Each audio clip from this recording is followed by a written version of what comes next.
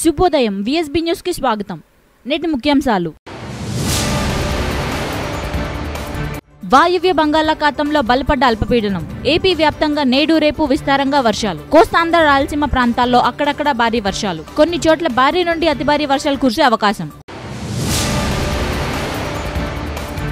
నేడు AP inter ఫలితాల విడుదల. సాయంత్రం నాలుగు గంటలకు ఫలితాలను విడుదల చేయనున్న విద్యాశాఖ మంత్రి ఆదిమూలపు సురేష్.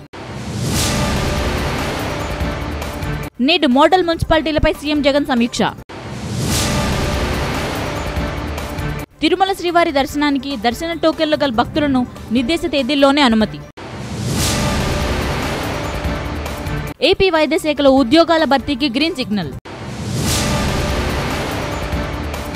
లాక్డౌన్ సడలింపుల్లో భాగంగా దేశంలోని అన్ని ఆలయాలు ఈ నెల ఎనిమిదో తేదీ నుండి తెరుచుకున్న సంగతి తెలిసిందే.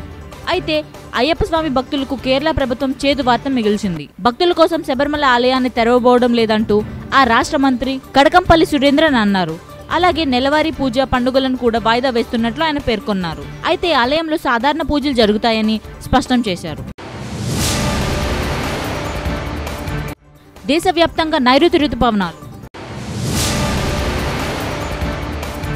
భారతదేశంలో కరోనా రికవరీ రేట్ నలభై తొమ్మిది పాయింట్ ఒకటి రెండు శాతం.